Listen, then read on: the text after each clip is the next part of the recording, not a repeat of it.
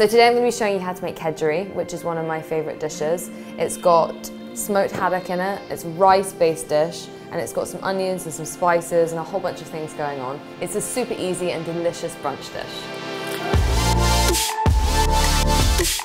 So the first thing is the rice, which I've been soaking for about an hour. And soaking the rice helps remove the starch, so you get a perfect fluffy texture.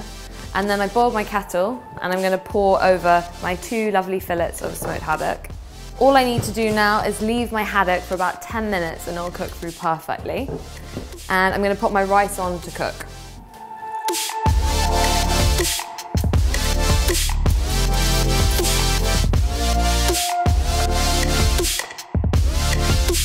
I'm gonna add some butter to my pan and I'm gonna fry off the onions and then I'm gonna add my chili and then the spices. And this is gonna add so much flavor to the dish. Kedgeree is something that my granny used to make for me when I was a kid. It just reminds me of her really. And in the last few years, avocado has been such a big thing that a lot of other brunch dishes have kind of been forgotten. And I think this is one that people should definitely give a go. So my fish will be cooked now and you just want to peel off the skin. Ta-da! And you just want to flake the pieces of fish into the pan like this.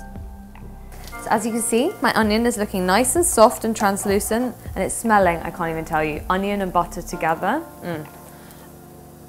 So both my spices going in, also with some bashed cardamom and some lemon zest as well. So just mix that through the onions cooking it still over a nice low heat.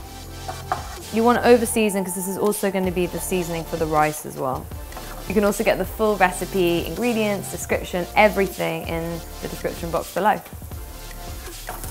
I'm just going to add all of this. I'm actually going to add my rice into this pan. I want to get all the butter and all of the flavour off the bottom of it. In French cooking they call that the sucs and that's like where all the flavour lies. So I'm now going to add that back into the rice pan. Add my flaked fillets of smoked haddock and just gently toss that together because you don't want to break them up too much. And now we're pretty much ready to serve.